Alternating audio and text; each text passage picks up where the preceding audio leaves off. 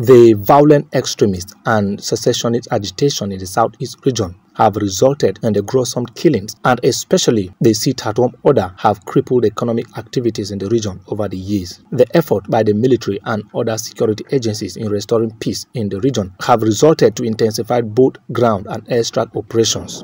Updating journalists, the Director of Defense Media Operations, Major General Edward Buba, said about 106 extremists were killed in February 2024 across the region. The troops of Operation Udo Ka neutralized 106 terrorists or violent extremists.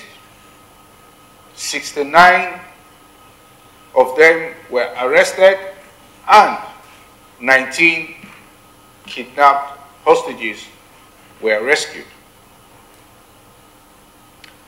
Troops also recovered 19 AK-47 rifles, 46 pump-action guns, over 1,700 rounds of 7.62 mm special ammunition, among others.